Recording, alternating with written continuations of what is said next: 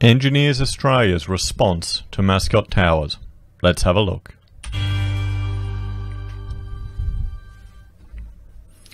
Good evening, everyone. I'm Florian Heise, and welcome to another episode of Heise Says. I've got my stein of coffee, and I thought we would have a look at Engineers Australia's statement regarding Mascot Towers, how they're addressing it, because this is uh, in the news a fair bit at the moment. So let's have a look at how they're responding.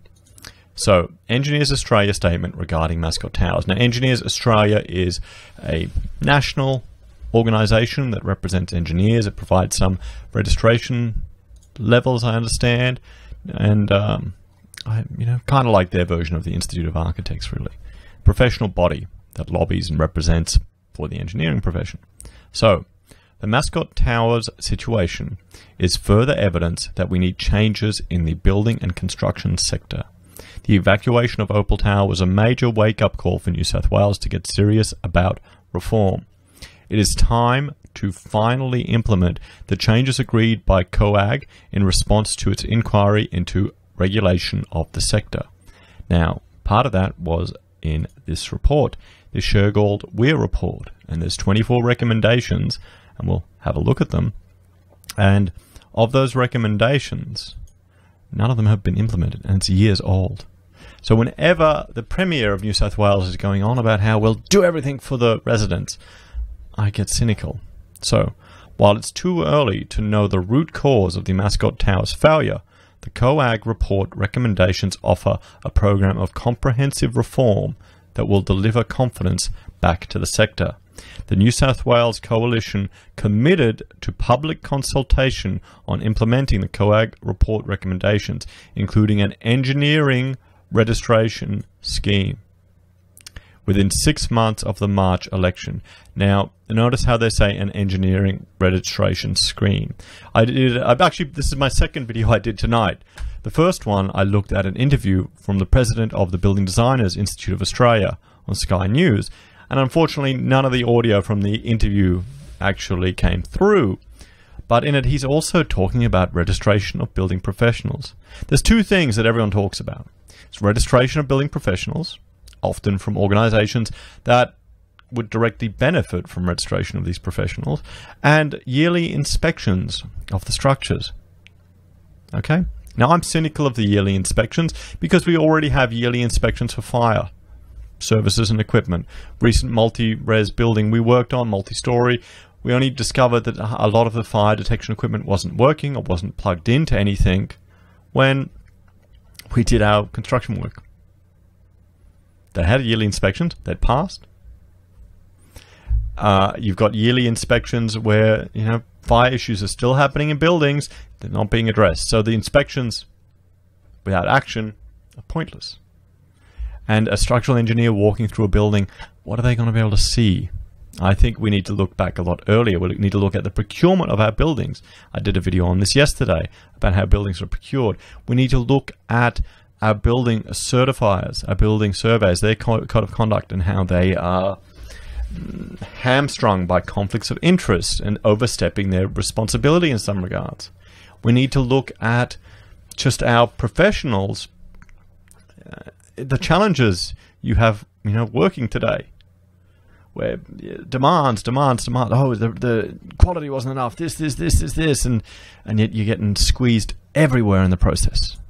And we have to look at the people who are actually the ones shifting responsibility around, and who are mitigating risk and putting it onto other parties.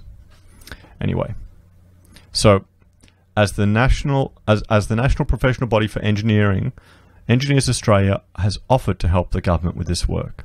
New South Wales has been slow, but it's not too late if we start now. Well, no, it is too late. It is too late because you've got two buildings that have failed in some regards and people can't live in them. It shouldn't take a crisis for government to act in the interests of community safety and consumer protection. Yeah, that's a good point, but sadly, I think that's that's what always happens. So, if you look here, these are the 24 report recommendations, and I went through it before, and I'll, I'll go through it in greater detail again, but uh, in, in another video. But recommendation one is registration of building practitioners, and and uh, that's what you know they want to register the engineers, and Building Institute also want to register practitioners. Now, I've got an issue with this. I'm a registered architect in Queensland. Why would you have an issue with it, Florian? Because it doesn't work all the time. Now, here we've got also calls for a code of conduct for building surveyors and the integrity of private building surveyors. Now, building surveyor is another term for building certifier. Now, I had a drunken discussion with a building certifier here in Queensland because under the Building Act, where they are given the authority, they can only a few people can actually produce documents that they, the building certifier or survey, is allowed to approve for construction.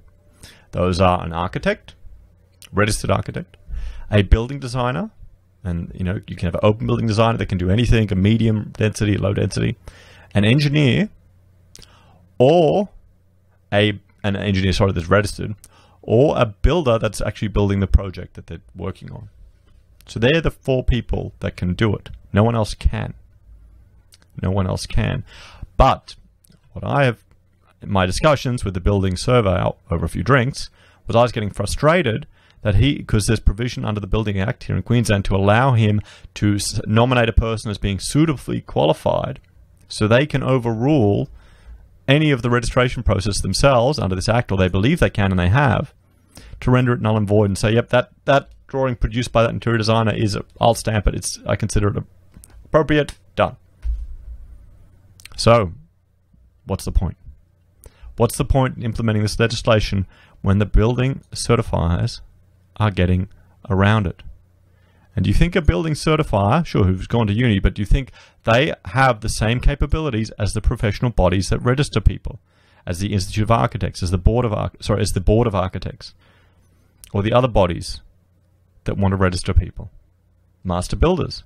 You know, what do you have to go through to get your building license or your engineer's degree? So that's why I'm cynical for this registration of building practitioners. I think unless other things are addressed, and particularly certifiers, we need to look at our procurement processes, we need to look at a whole lot of things, and I'll go through this in greater detail, or I would steer you towards the my seven part series on the Shergold Weir Report. You can listen to it like a podcast. I go through every single thing, and it's exhausting. But, you know, like here, this one is really simple. A dictionary of terminology. We don't even have consistent terms in our different states. That's an important one. Building product safety. We've got dodgy cladding. You know, there's asbestos in gyprock. You've got wiring that can catch fire. You've got developers. This happened here in Brisbane, where a developer had a showroom with nice tapware all set up, beautiful. Then they went over to China. They got them copied. They had their architect a tick that they looked the same and they put them in. Now, the problem is there's certain requirements that need to be met for tapware with regards to water usage, with regards to ensuring that it's not leaking or causing mold or water damage. And water is a very dangerous thing in buildings. It can cause health issues, it can cause a lot of structural issues. Yep, but they did it, they signed off on it. Big, brand name, beautiful, high end developer. Well known architectural practice. I couldn't believe it when they did that, when I heard of that. I could not believe it. Here, a building manual for commercial buildings. That's a good one too.